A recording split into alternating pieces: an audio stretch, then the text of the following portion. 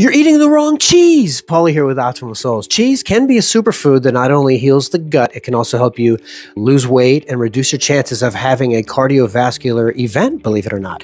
I'm going to tell you exactly what cheese you should be eating every day. First of all, most cheese is not even cheese, it's a cheese product, and that is actually harmful. You also want to avoid cheese from cows that have the casein A1 protein. So avoid cheese from USA, England, Spain, Ireland, and Northern Germany. What you want is casein A2 cheese, which aligns much better with what our ancestors ate. You can buy raw, aged casein A2 cheese uh, that's from France, Switzerland, or Italy. That's the best. Also, all goats and sheep have the casein A2 protein. And guess what? Four out of five of the blue zones that eat a lot of goat and sheep cheese, and could also be why the Mediterranean diet does so well in these countries. Here are the four best cheeses that you should be eating every day. Number four, goat cheeses like ricotta, feta, gouda, and my favorite, blue cheese. Number three, buffalo mozzarella from the Italian water buffalo. Tastes like mozzarella, but it's healthier.